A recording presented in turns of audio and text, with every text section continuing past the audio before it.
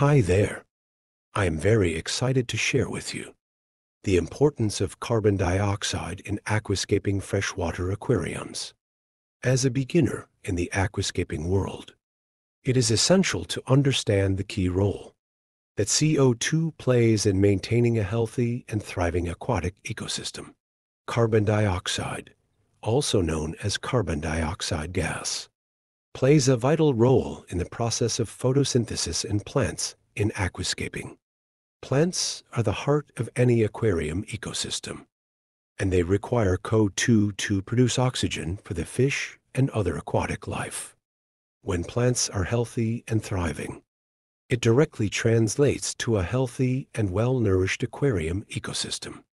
In a freshwater aquarium, the primary purpose of CO2 is to support the plant growth, however. It also plays a significant role in the chemical balance of the water.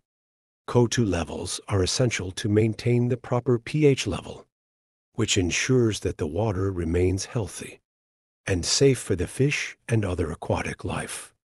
It also helps to prevent the buildup of harmful chemical reactions. Additionally, CO2 is vital for the fish's metabolic needs. Fish are ectothermic animals, meaning they regulate their body temperature through external factors, including the water's CO2 levels. CO2 is essential for the fish to respire and maintain their optimal body temperature.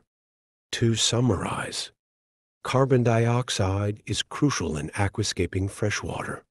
Aquariums for three primary reasons plant growth, chemical balance, and fish health. It supports the growth of healthy, thriving plants, maintains the water's pH and prevents harmful chemical buildups, and ensures that the fish remain healthy and comfortable. So, always make sure to provide an adequate amount of CO2 for your plants and fish to thrive.